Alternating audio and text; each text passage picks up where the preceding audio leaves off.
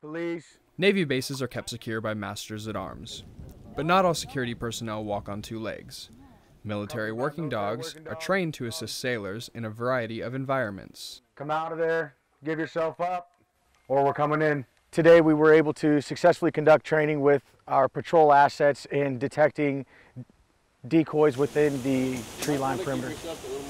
The handlers train with their dogs to fine tune their skills and help build partnerships with their companions. This training was conducted to better enhance the skills of the handlers and their military working dogs Out! to provide protection to the naval base installation in Sasebo, Japan.